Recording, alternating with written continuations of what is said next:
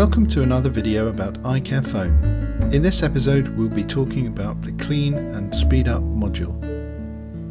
Clicking on the Clean and Speed Up tab shows the scan menu. On it you will see the amount of total space on your iOS device, plus the amount used and the amount free. If you have never scanned your device before, then it will say not scanned. But if you have used iCareFone before to scan your phone, it will say when it was last scanned and how much space you have saved. Click the Quick Scan button to begin scanning your phone.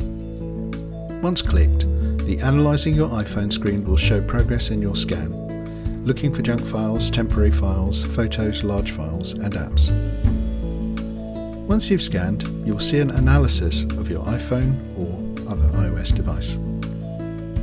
On the right of each section, you will see a button marked Clean. Clicking this button will help you to free up space in any of these five areas. For example, clicking the Junk Files button removes any leftover files and residual data from any apps you have installed. This can take up space. Once the cleaning is finished, you will see how much space you have saved. Clicking the button next to temporary files has the same effect. The temp files are cleaned and you'll get a note of how much space has been saved by cleaning these files.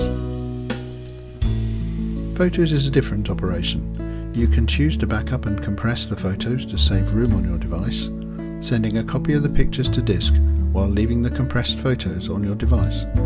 Or you can backup and delete to remove them from the device but save them on your computer. Large files identifies files which are taking up a lot of space on your iPhone. You can choose which files you are still using and delete those you are not.